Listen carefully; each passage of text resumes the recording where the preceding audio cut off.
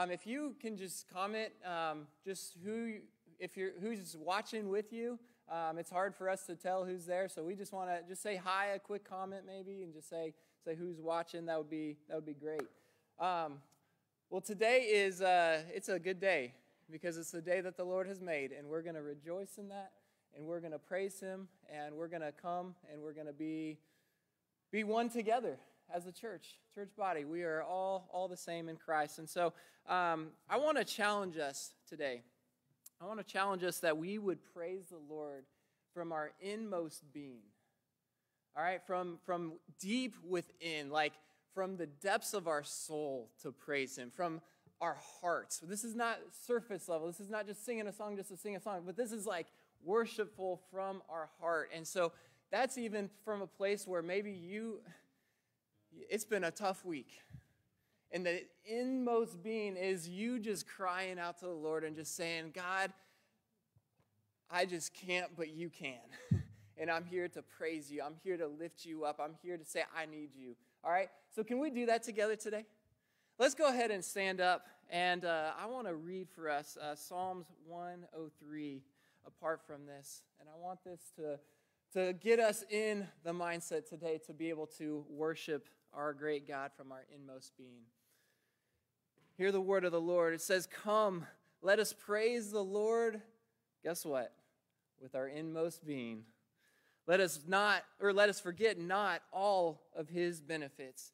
He forgives all our sins. Amen. He heals all our diseases. He redeems our lives from the pit and crowns us with his love and compassion. He satisfies our desires with good things so that our youth is renewed like the eagles. Come, let us praise the Lord with our inmost being. Let's stand and let's worship him today. Amen. Amen, everybody. All right. Thank you, Pastor Kevin. Okay, we're going to start our worship this morning with the song Death Was Arrested. I think you all know that one, and it has beautiful lyrics to it. So let's sing from our hearts and our innermost being.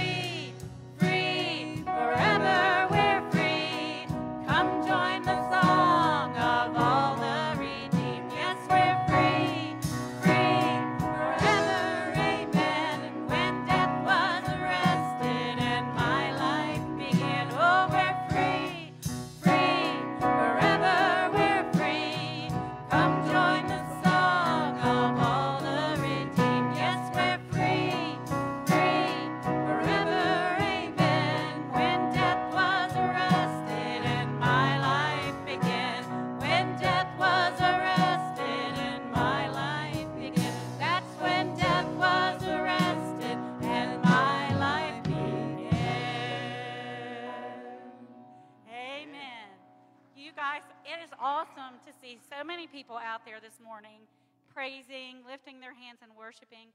You know, we all, it's not always about raising your hands. I mean, we're all just very different, and we all show our worship in a different way.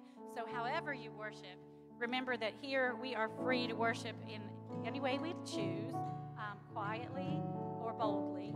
But the main thing is what Pastor Kevin said that we want it to be from our innermost being not about perfect voices or how we look or any of that. We just want to give our best to God from our hearts. So let's continue to worship this wonderful God that we serve this morning.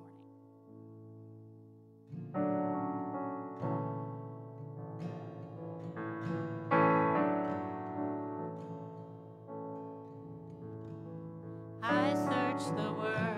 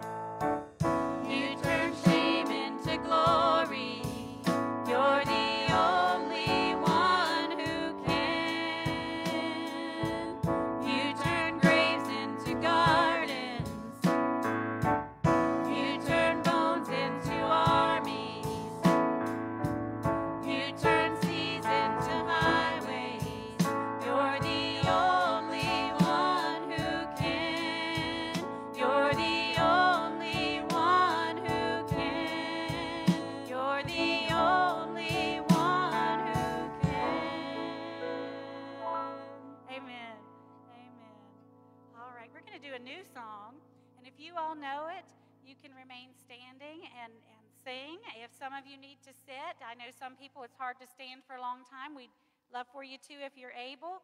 Uh, this song is called My Jesus, and a, a young woman sings it on Christian radio. And ever since I've heard it, I've really, really liked it. Um, so I, I, hope you guys enjoy it too. Uh, this one's in F sharp.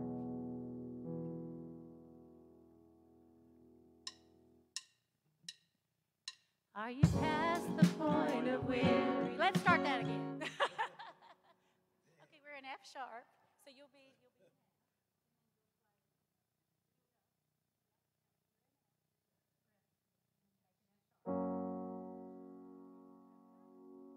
we're going to try it again. It's new, so you know how it goes. So bear with us. Okay, well, let's try it again. Past the point of weary, are you burdened?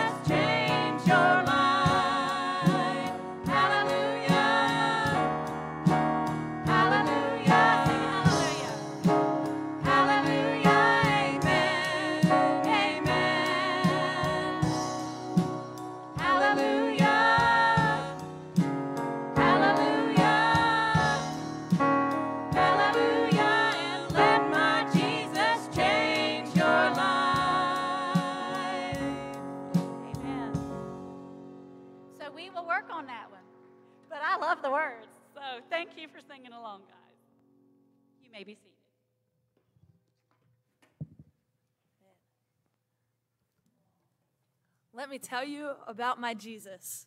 Well, we are going to continue with some prayer. And let's go to Jesus. Our Jesus, my Jesus, everyone's Jesus. Because he is the same for you as he is for me. Jesus. Man, what a powerful name. That saves. And Lord, sometimes when we don't know what to say, we don't know what to pray. Sometimes all your name is what we need to just come back and say, Jesus, I'm here. I'm in this place. Some of us are weary. Some of us are burdened. Some of us are tired. Some of us are exhausted. Some of us are joyful. Some of us are excited. Some of us are rejoicing. And yet, all of us are here finding rest in you. Because you make a way where there is no way. You see, when we see darkness, when we see graves, when we see death, Jesus, you see life. You speak life into us. And you turn the most dark and devastating things into beautiful, grace redeeming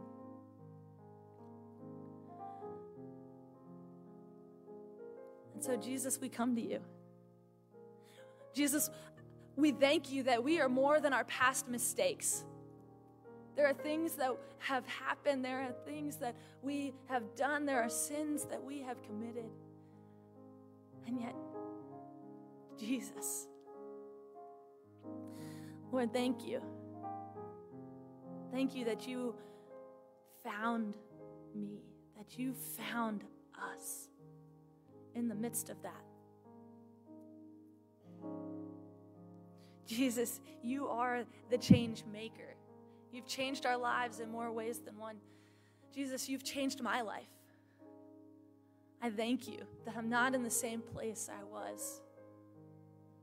I thank you that you keep chasing after me time and time again. And Lord, I'm not alone because you are chasing after every person here. Lord, you will continue to chase after and continue to love because that's your nature.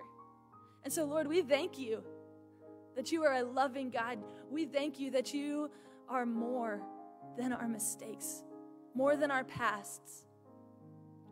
Lord, thank you that you have come into our lives and healed us, fixed those broken parts, redeemed us given us a vision and a purpose. You have called us each by name. And so we are here in this place and we gather together to rejoice, to shout praises to you, to lift you up and say, Jesus, that is why I do the things that I do, because Jesus. So, Lord, let us love you with our whole hearts, our whole minds, our whole bodies, our whole souls, not only today, but every day. Lord, we thank you we thank you that you hear our prayers and that you are listening, that you are a God that cares about us.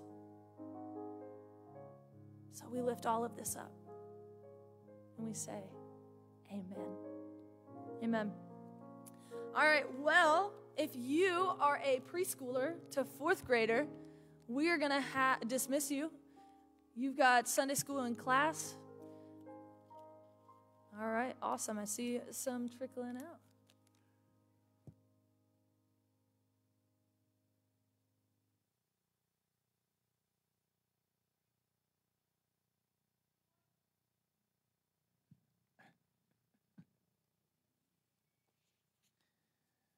All right. Good to see everybody here today, and uh, welcome to those of you who are worshiping with us online. Nice to see things kind of filling up uh, again. That's that's good. Good thing. Good thing. Well, it's been been kind of cold out there, kind of windy too. Um, yeah, go ahead and get that. I saw this picture. I don't know. I kind of identify with that guy after yesterday. and that was crazy out there, wasn't it? Got to kind of hold on, hold on. Uh, well, um, today we're going to we're talking about we're going to start in, I, we may spend several weeks here. I'm not really sure. Just kind of seeking God's direction. But um, we're, we're following the theme today. This is our story. This is our story. So uh, we're going to go back to the very beginning, um, Genesis, Genesis 1, verse 26. If you want to get your Bibles, we'll be looking at that scripture in, in just a minute. And uh, we're going to look at the beginning of our story. And then, I don't know, we might keep going throughout the, the, the story the next few weeks. We'll, we'll see how that goes. We're all very aware, I, I think, that we've been in sort of this uh, chapter of our, our history or the story in our nation, in our world, when there's just been a lot of negativity. Would you agree with me? That um, um, we've, we've kind of struggled, like he had reason to be worried and sometimes anxious. And um, there's even, I felt at times like a little bit of even like hopelessness kind of creeping in um, as we look at the condition of our world. But this morning, as we think about our story, I really want to remind us, and I've been reminded as, as I've looked at, at this, that uh, even though things in our world can be kind of dark and negative, um, that's not our story as followers of Jesus. It's not one of negativity. But our, our story is a story of beauty and hopefulness and, and joy and blessing and redemption. That's where we want to live our lives in those, those positive things. And so, as we look even back to the very beginning, the creation story, we see that it begins with God's goodness and beauty and blessing. That's where it all starts. Story of a God who longs to live in loving relationship with us. And we don't want to be ostriches, you know, those guys that stick their head in the sand, the dirt. We don't want to live there. We don't want to ignore the fact that, yeah, there's bad stuff in the world. It's like, you know, we don't want to just bury our heads and like pretend everything is okay. But we do want to live into the story that Jesus has called us to. Not ignoring the ugliness of the world around us, but not trapped and defeated by its darkness and hopelessness.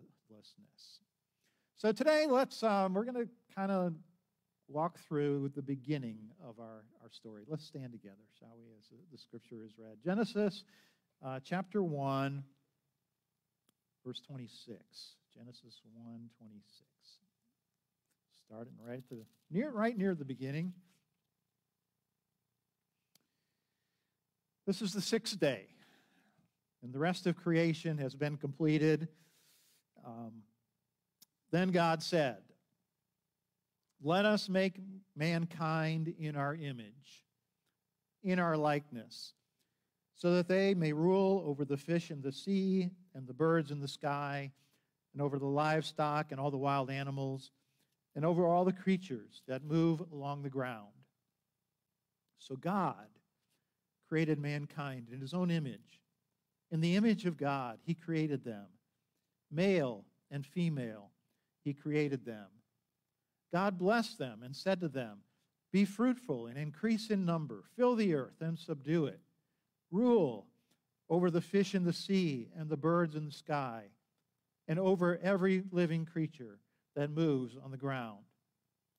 Then God said, I give you every seed bearing plant on the face of the whole earth, and every tree that has fruit with seed on it in it. They will be yours for food and to all the beasts of the earth, and all the birds in the sky, and all the creatures that move along the ground, everything that has the breath of life in it, I give you every green plant for food. And it was so. And God saw all that he had made, and it was very good. It was very good. And there was evening, and there was morning, the sixth day. Okay, that's just a little high point for us from this wonderful story of God's creative work. You may be seated. You might want to keep your Bibles open. We're going to refer to um, several scriptures here this morning. So, the familiar story of the beginning of our universe. We're told that our beautiful blue and green planet, it is beautiful, isn't it? Its forests, its streams, its glowing orange sunsets, its vast oceans, blue skies reflect the glory of our Almighty God. Think of Psalm chapter 19, verse 1. Um, read this with me, would you? The heavens declare the glory of God, the skies proclaim the work of his hands. Psalm 19:1. Let's, let's, read, let's say that again. The heavens declare the glory of God, the skies proclaim the work of his hands. Psalm 19:1. The Living Bible translation of this says the heavens are telling the glory of God. They are marvel, a marvelous display of his craftsmanship. God created our beautiful world filled with I don't know, choose what you like. Puppies? I like puppies. Not so much kitties, but puppies are good. kitties are your thing, that's all right too. I don't know, eagles, towering redwoods, the Grand Canyon, full moons, billions of stars in the sky, and the sixth day, God's crowning creation. His most beloved companion, human beings. You, his crowning creation.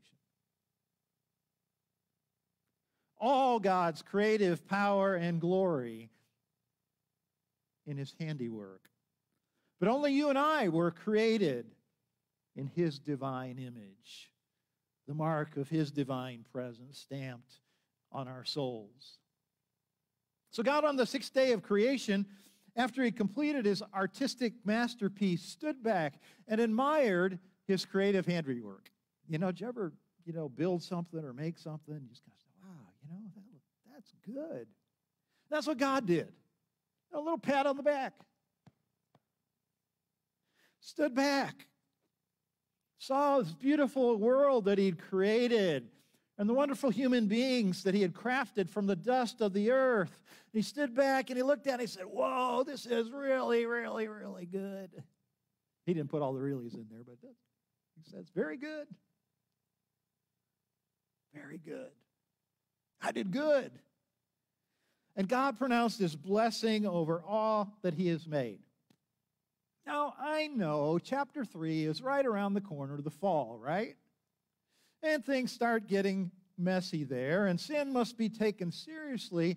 But I want us to know that our story begins with God's creative love, shaping a beautiful world and making us humans and pronouncing it all very, very, very good.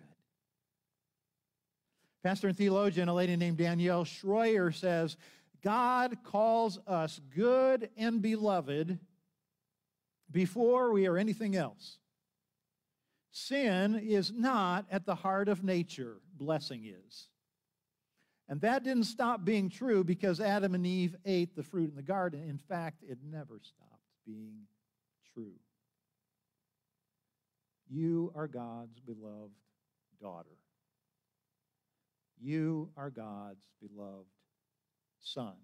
He has stamped his very image on you. You are his very good, crowning creation. These are such important truths for us to embed deep within our hearts and our minds because we're living in a world where we are embodied you know, bombarded by so many messages of hopelessness and negativity. And we sometimes are made to feel worthless and shameful and defeated. But the creation accounts in Genesis, our story, make it clear that our worthiness is grounded in the story of our beginning as people created in His image. I know a lot of us struggle feeling worthy of God's love. Maybe you do. I, point you to Psalm 139. What a, what a great, great, and wonderful psalm. This is one we got to read this one together. I just pulled out a couple verses. Psalm 139. What a wonderful message. Read it with me, would you? For you created me. You knit me together in my mother's womb. I praise you because I am fearfully and wonderfully made. Your works are wonderful. I know that full well. Psalm 139, 13, 14. Uh, let's read it in a, this message version. Kind of makes it really, really come to life. Um, read, it, read it with me, would you? Oh, yes.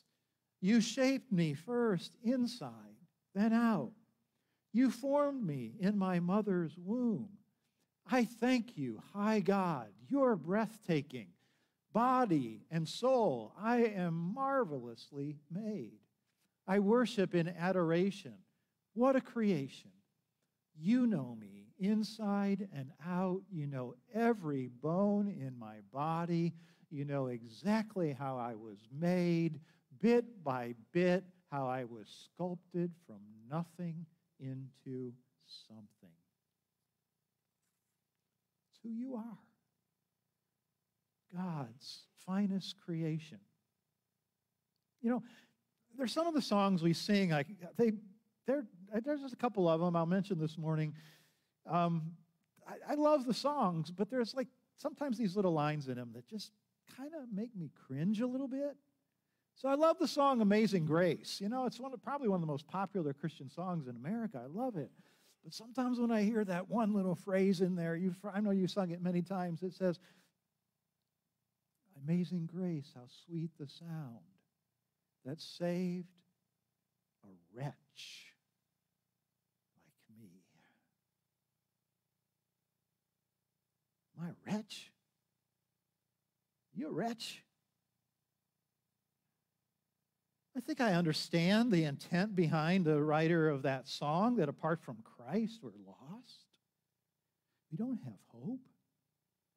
But if we go back to our beginning story, we got to make sure that we understand that created in the image of God, his most beautiful creation. We're not worthless. And there's another one. There's another one. Let's see. It goes, um, Alas, beautiful hymn. And did my Savior bleed? And did my sovereign die? Would he, Jesus, devote his sacred head for such a, a worm as I?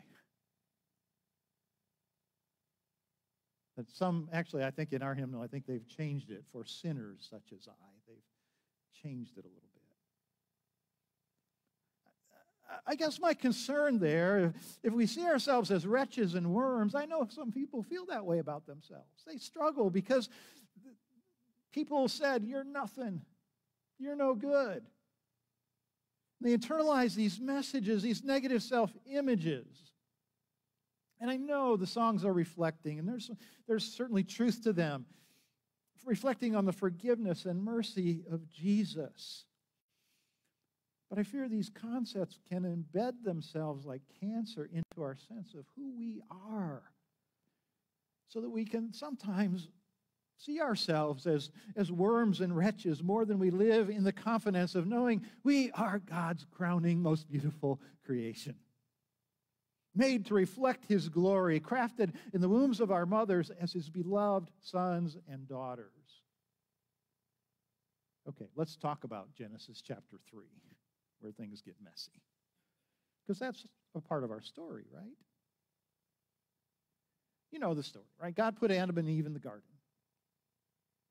You know, shaped Adam from the dust and Eve from his rib and and put them in the garden and said, Here, you know, enjoy the paradise of the garden. And they took walks together, and Adam and Eve were naked and unashamed. And God said, You can eat any fruit in, from, fruit from any tree in the garden except the tree of the knowledge of good and evil.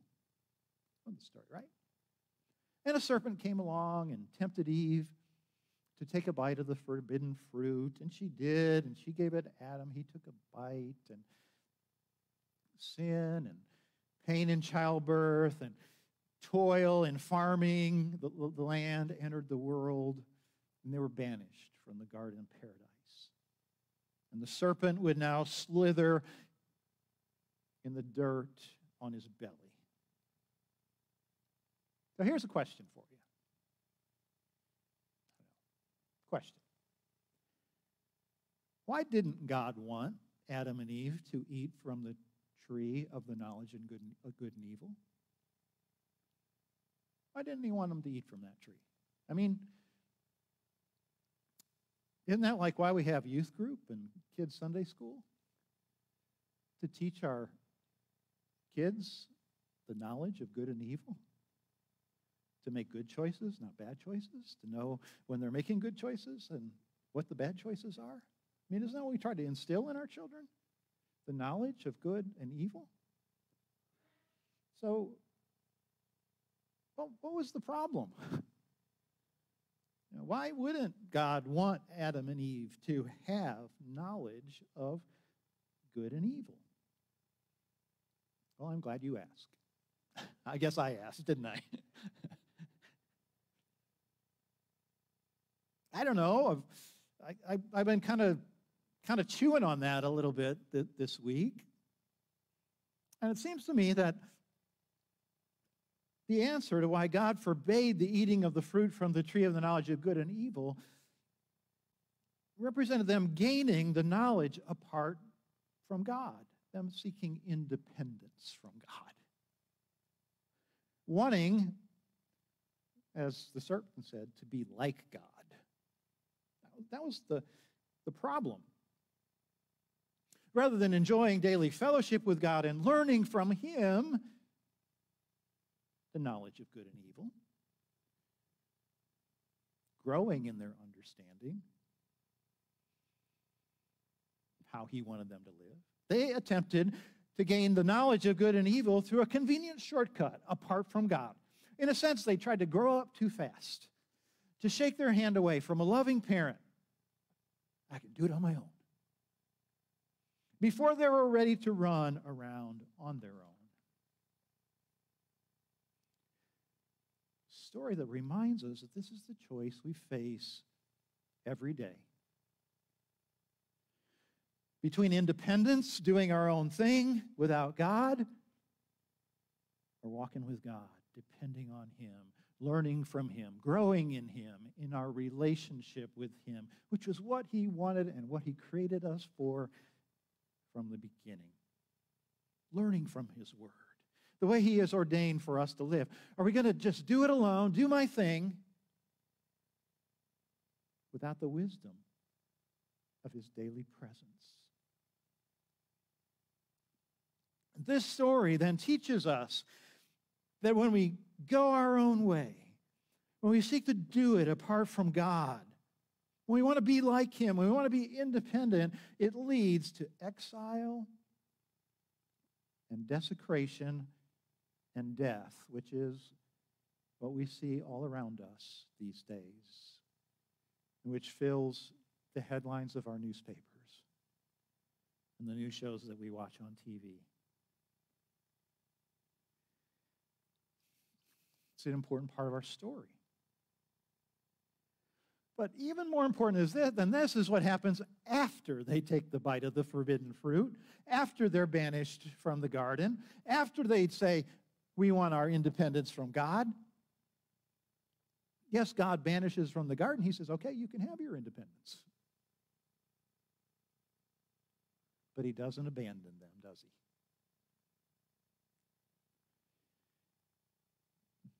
The new story begins. And it's just a few chapters after this. God comes to a man named Abraham. And he said, said, Abraham, I want you to I want you to leave your family, leave your home. You take your wife with you, leave your family of origin. I'm going to show you another land, and I'm going to bless the world through your descendants. The world be blessed. And the whole story, like generation after generation after generation, leads to the story of a pregnancy. a baby growing in a teenager teenager's womb named Jesus.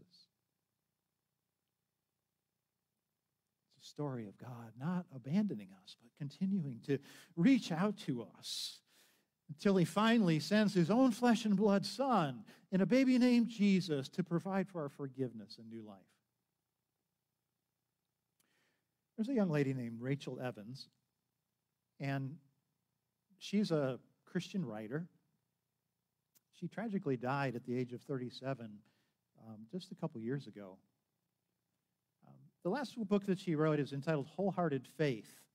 And she reflected on, on growing up in a loving Christian home and attending Christian school. And she says I became, she said she became something of an overachiever.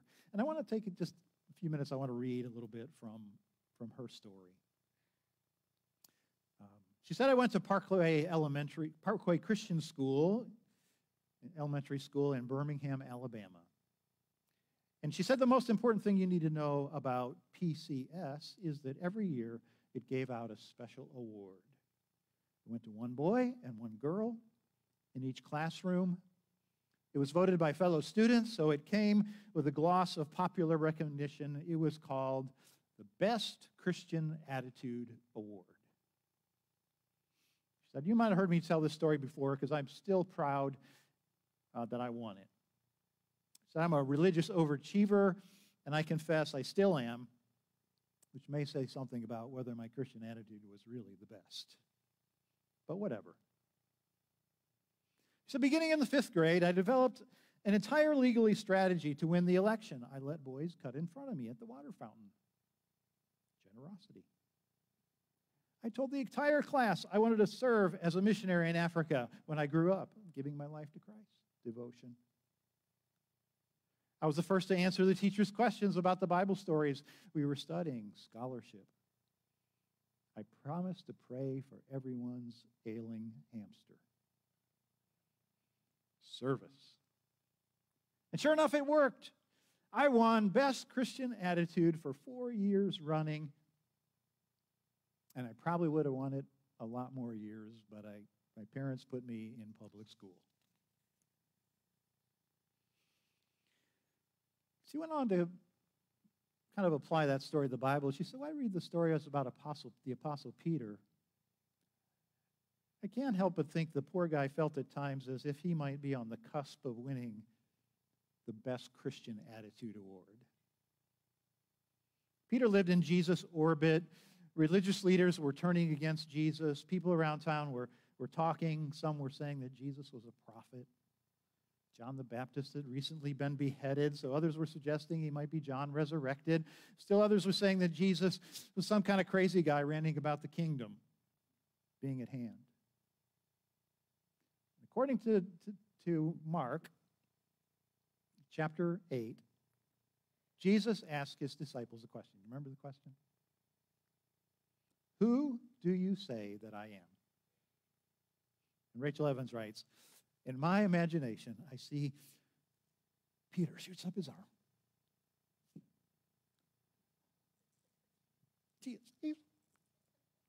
He's, quivering. He screams, Oh, pick me, pick me. I know, I know. You're the Messiah. You're the liberator we've been waiting for. You're the one who will vanquish our enemies, establish a throne, rule forever. I know, Peter. And Jesus kind of must, his response must have been pretty disappointing to Peter. Even with all of his enthusiasm, Jesus, you can look at it, he says, Yeah, but don't tell anybody. Keep it quiet. And then there follows some talk about Jesus facing intense suffering and rejection and death. And Peter understandably objects and says, Don't talk like that. We're not going to let that happen to you. You're not going to die. And then Jesus seems to grant Peter what amounts to the opposite of a Best Christian Attitude Award. Remember what Jesus said to him? Ooh. Hope Jesus never says this to me. Get behind me, Satan. Rabbi, the one he'd chosen to follow and devote his life to, says, calls him Satan. Get behind me, Satan.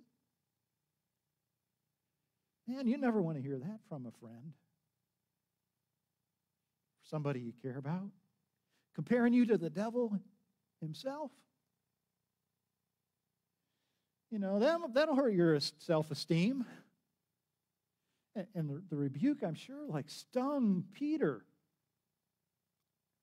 And goes on to, Jesus goes on to explain that, that his purpose in coming um, is, is not to establish this great kingdom, to avoid pain, but his way is the way of, of death and sacrifice. And he's going to ride a donkey into the city, and the king's his kingdom will be characterized by gestures of healing and whispers of mercy, touches of tenderness and waves of grace. And Jesus has this way of explaining what his kingdom will be like. You, you got to be prepared not to win, but to lose. and you may not get your best Christian attitude award. When Jesus said those words to Peter, Get behind me, Satan, I think he's probably not only humiliated, but maybe felt a sense of shame.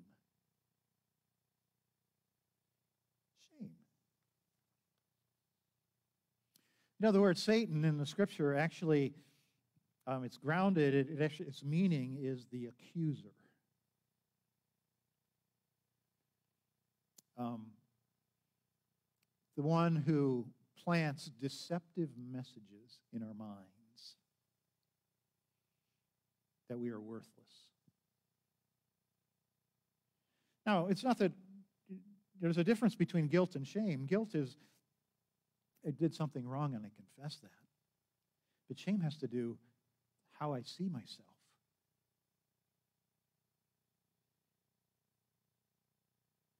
Shame needs to die. We need to stop listening to the voice of the accuser that tells us that we are unworthy and can never be loved. It's interesting to look on in the story of the interchange between Peter and uh, Peter and Jesus as it unfolds, you might remember that after Jesus' resurrection, Jesus shows up on the beach while Peter's out fishing with his disciples and with the disciples, and they come back and Jesus got has broiled fish breakfast on the on the beach. And he invites Peter and the disciples to, to join him. And there's this conversation that goes on between Peter and Jesus, and Jesus says, Peter, do you love me? Peter says, Yeah, you know I love you. And Jesus asked him that three times, and then he keeps saying, Yeah, I love you, Jesus. And I'm sure he's wondering, like, why are you asking me this? Then he says, If you love me, feed my sheep. And, and Jesus goes on in the interchange after his resurrection to say, to give instructions to his disciples. First, they're going to need the Holy Spirit, just like we do. Um, pray and wait for the Holy Spirit to be poured out on you because you can't do my work unless you have my Spirit in you, empowering and leading you. But then it's once they had His Spirit, it's, it was about getting to work, doing Jesus' work, feeding my sheep, loving my people, sharing the good news of my forgiving mercy and saving grace. So, over that fish breakfast, cooked over the campfire on the beach by the Sea of Galilee, the risen Savior restored Peter's shattered self esteem. He healed his shame through his loving acceptance and forgiving mercy. It occurs to me that's exactly what he wants to do in your life and mine this morning. Think about your life no matter how much you sinned, no matter how far you've drifted away from Jesus, no many, how, how, however many times you failed him. Our story is that Jesus wants you to know that you are God's beloved son. You are God's beloved daughter. You are his highest and most wonderful creation. And here's the one thing I really want you to remember God don't make no trash. God don't make no trash. I know that's not correct English. But he don't.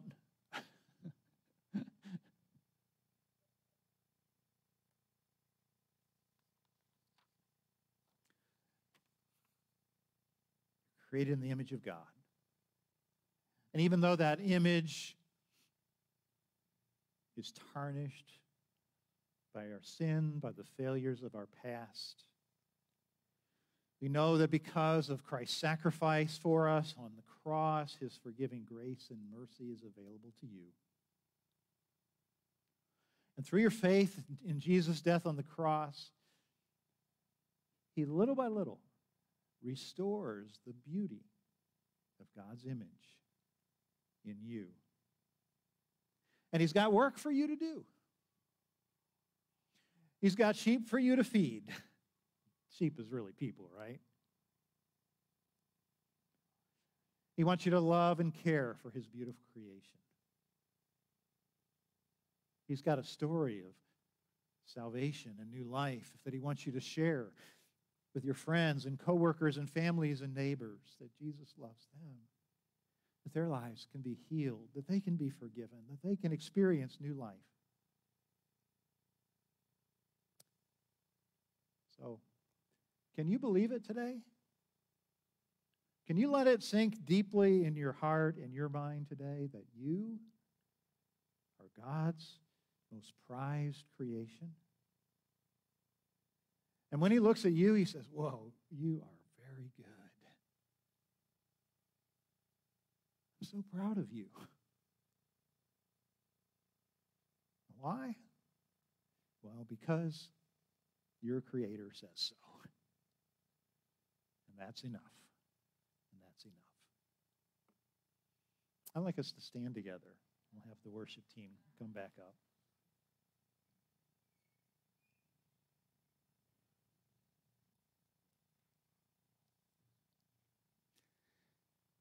Let's pray together.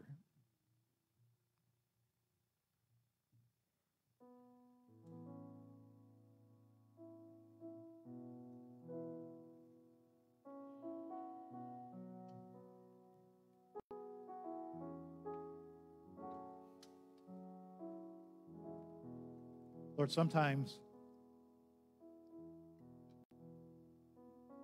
when things seem to be so messy in our lives, It helps if we go back to the beginning of our story.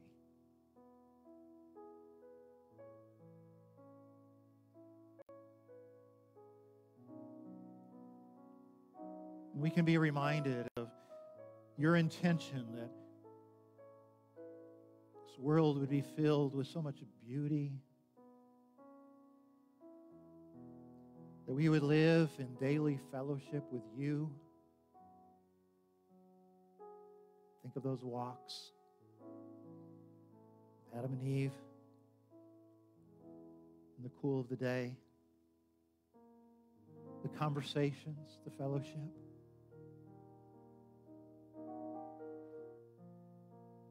Think of all you've created. And then your crowning creation Us. Us. Sometimes, Lord, we think about our lives and we think about ways we've let you down, the times we've drifted away.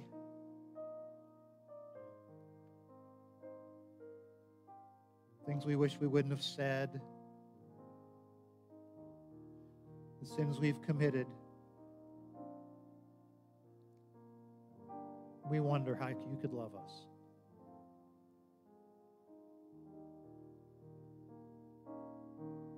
But you do. You not only created us, but in Christ you've recreated us. Given us a fresh start, a new beginning. We thank you. That this is our story, a story of creation, a story of recreation.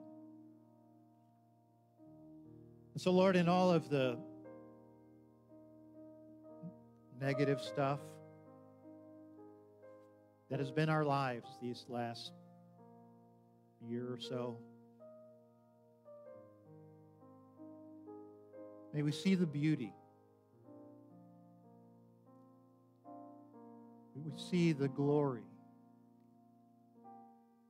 May we be reminded of the miracle of redemption and new life that is ours. And may we stand in awe in knowing that you love us, that we are your deeply loved daughters, sons that you love more than we can ever understand, and that your grace and mercy is so full and free that through Christ, our relationship with you is restored. We thank you for all of that. This is our story. Help us, Lord, to live into this story that is so clearly spelled out in your word. A story of beauty, a story of new life. You've called us to be lights to the world. And we will be as we live into this story. And we pray these things in Jesus' name. Amen. Amen. Let's sing with the worship team this morning. We invite you to continue standing this morning as we close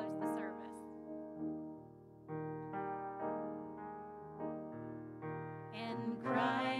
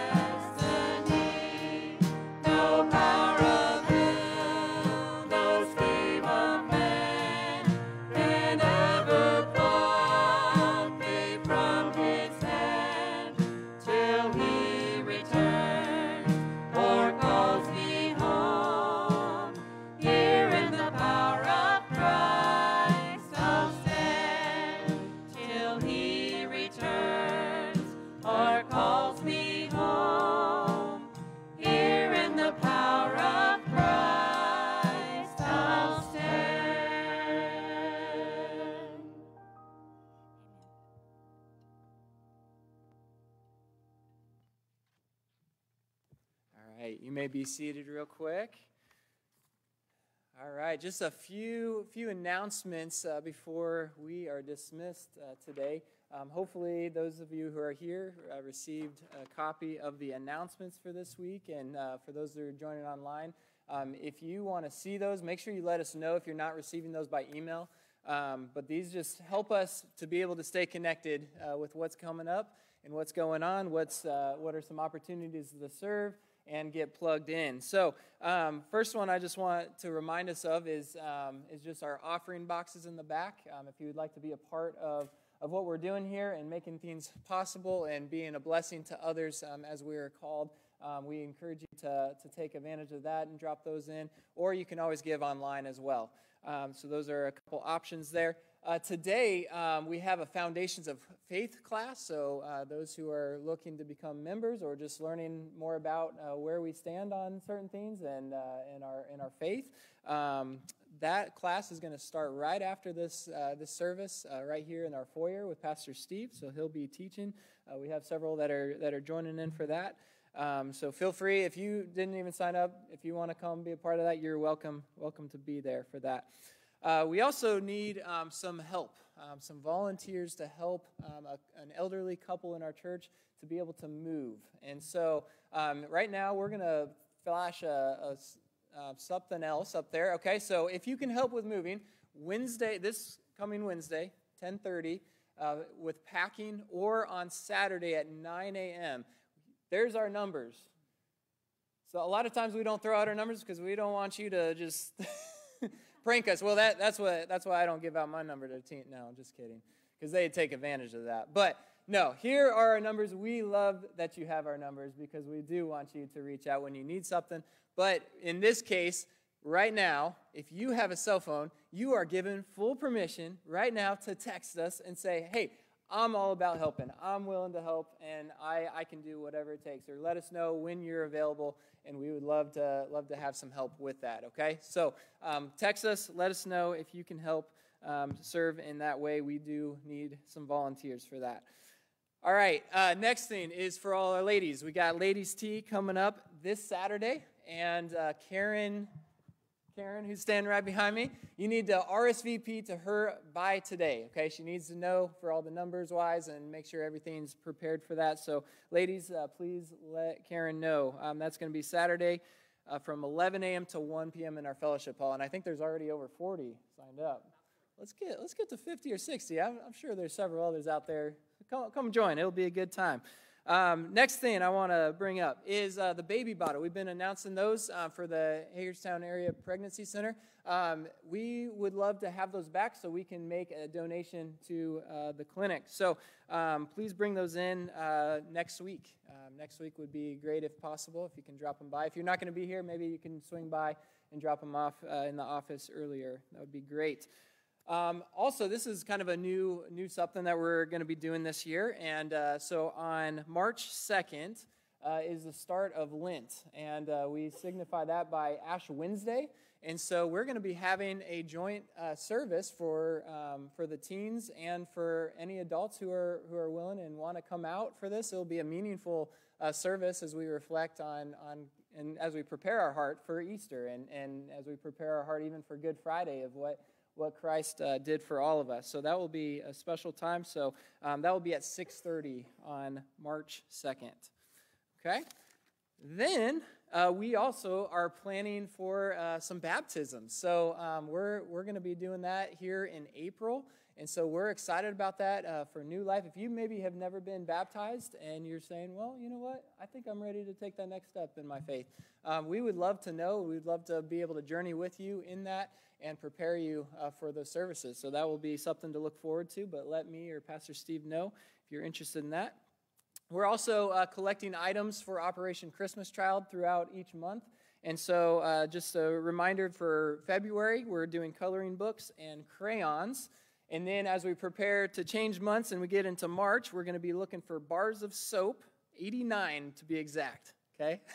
89 bars of soap, 100 boxes of band aids, and 90 toothbrush cases, okay? So there's a few items that maybe you can, uh, as you're at the store and if you see some, grab a couple and you can bring those in and just put them um, by the Welcome Center. There's a little box um, that we're collecting those items, okay? Um, we also have a Ignite Men's Conference coming up, so we're getting, getting ready. We have a good group of men that are going to be going and staying overnight um, down in Lynchburg, Virginia, and uh, we have several awesome speakers that are coming in. It is not too late for you men um, to sign up, um, but please let Tim Clip know. And if you don't have, if you don't know Tim Clip, you don't know me, I would love to introduce you to him. So reach out to me or Pastor Steve will get you connected.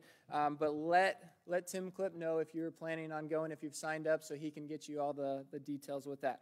And last but not least, we have these awesome devotional uh, reflection books that take you throughout each day of the week, and that's going to begin begin on uh, Monday, February 28th and throughout kind of this season. So if you're looking for a devotional guide, something to kind of keep you keep you in the Word, keep you um, encouraged, this would be a great resource. They are absolutely free. We would love for you to just to pick them up today, um, right in the Welcome Center on your way out. Okay, so make sure you grab one of those, and uh, that is the announcements. There's a lot, but that's a good thing because it means things are happening. We're being a part of what God is doing. So we want to just say thank you for joining us um, here. If you need anything, if you have prayer requests, please let us know. Um, we want to join in you in, in the messiness of this life. Um, but we're, as we're reminded today, we are made in the image of God, and that is something to celebrate. And, uh, and so we are the church, and the church was never meant to be contained inside this building here. We are the church, and we are now dismissed to go out to love everyone around us and to be a blessing and be loved ourselves. Amen? All right. Have a good week. We will see you next week, all right?